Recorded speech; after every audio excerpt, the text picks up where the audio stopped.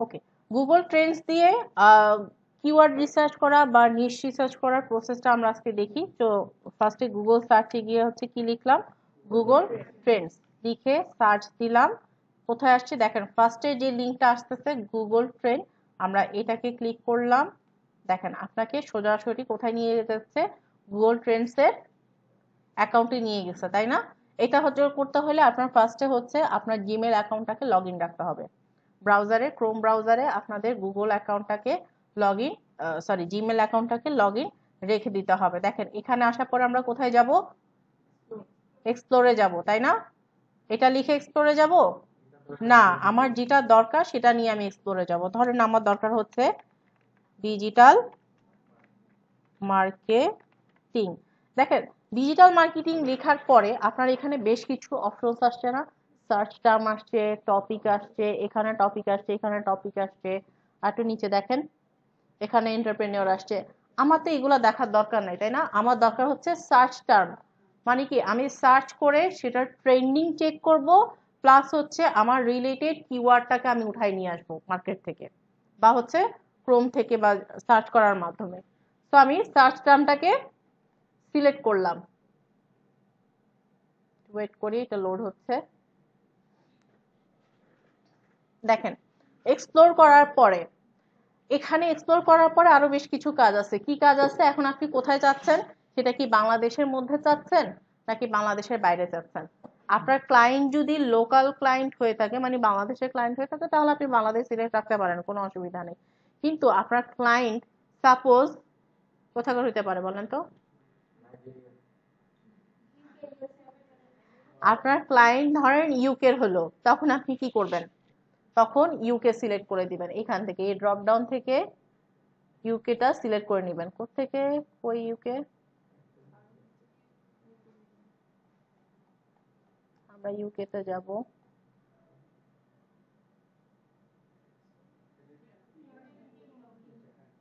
এই United kingdom দিলাম ওকে এখন কোনো কিছু ট্রেন্ড চেক করতে হলে বা কিওয়ার্ডের একটা রেজাল্ট চেক করতে হলে বা কিওয়ার্ড পেতে হলে আমার কি পাঁচ ডে রেজাল্ট দেখে কোনো লাভ আছে?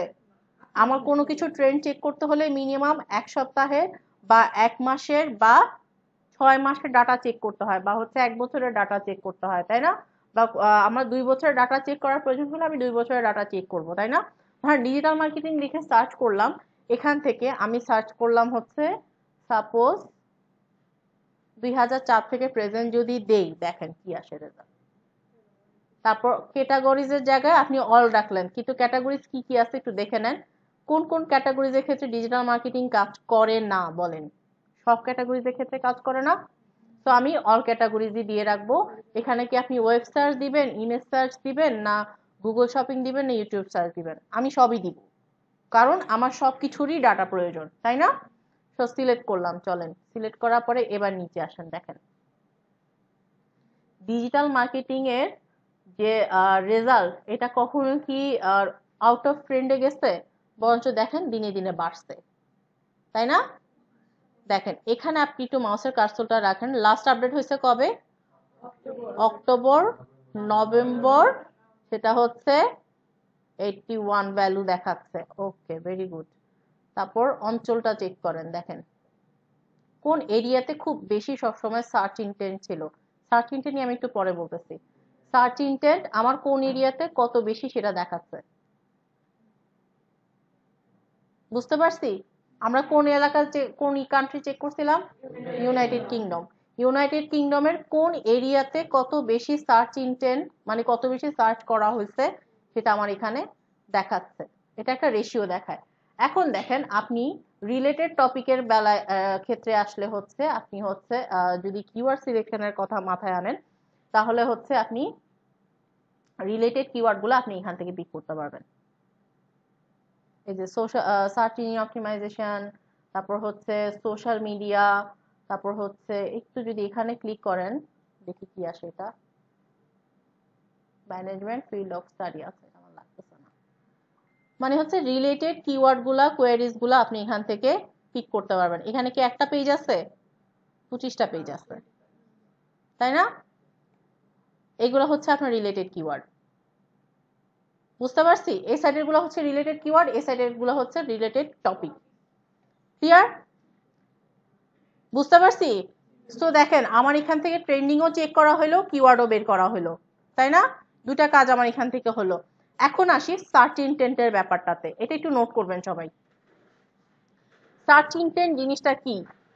সার্চ ইন্টেন্ট হচ্ছে সবার আগে বুঝেন ইন্টেন্ট মানে কি? ইন্টেন্ট মানে হচ্ছে ইন্টেনশন কোনো কিছুর ইন্টেনশন তাই না? এখন ইন্টেনশন সো এক্ষেত্রে হচ্ছে সার্চ ইন্টেন্ট মানে হচ্ছে আপনি, ধরেন হচ্ছে বাংলাদেশের মধ্যে আছেন এখন এই মুহূর্তে। বাংলাদেশে কোথায়?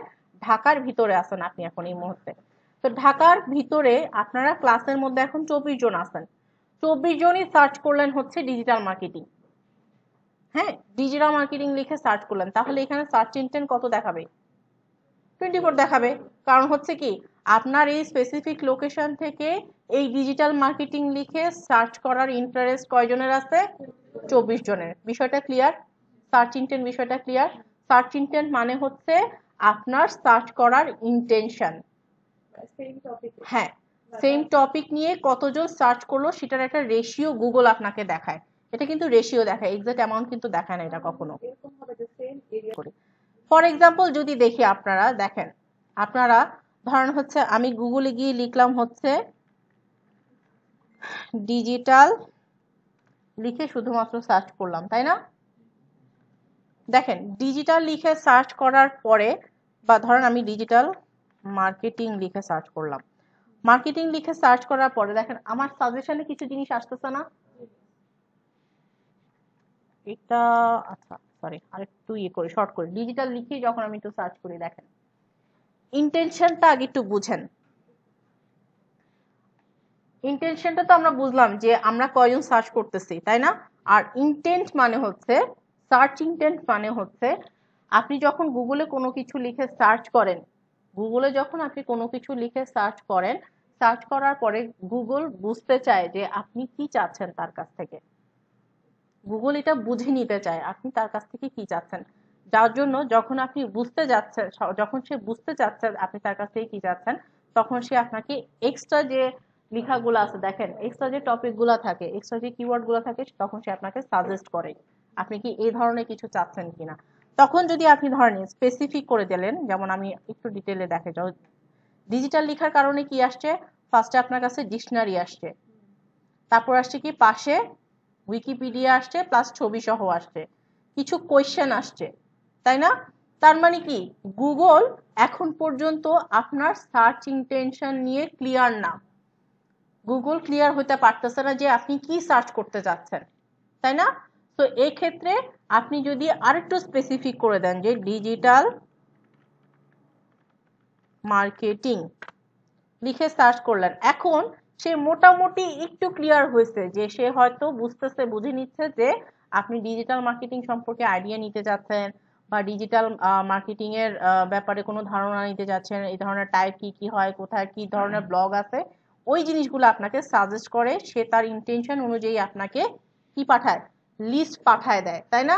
কিন্তু আপনি যদি গুগলকে আরও স্পেসিফিক করে দেন ডিজিটাল মার্কেটিং কোর্স জিনিসটা একেবারে স্পেসিফিক না এখন। একেবারে স্পেসিফিক হয়ে গেছে না যে কোন কোন জায়গায় আপনার ডিজিটাল মার্কেটিং এর কোর্স হচ্ছে কোর্স লিখে আপনি বাংলাদেশ লিখেন। দেখেন, বাংলাদেশের ভিতরে কোথায় কোথায় কোর্স হচ্ছে সেটার একটা ডিটেইল ইনফরমেশন সে যখন সার্চ ইন্টেনশনটা নিয়ে ক্লিয়ার হয়ে যাচ্ছে, তখন আপনাকে ইনফরমেশনটা পাঠাই দিচ্ছে, এই ডিটেইল ইনফরমেশনটা পাঠাই দিচ্ছে। এই প্রসেসটাকেই বলা হচ্ছে সার্চ ইন্টেন্ট ইন্টেনশনটা বুঝছি ইন্টেন্ট বুঝছি। এবার দুটার মধ্যে কম্বিনেশনটা বুঝতে পারছেন? জাস্ট এটাই। এটারই একটা ডাটা এটারই একটা রিপোর্ট আপনার এখানে শো করে। ক্লিয়ার বুঝতে পারছি?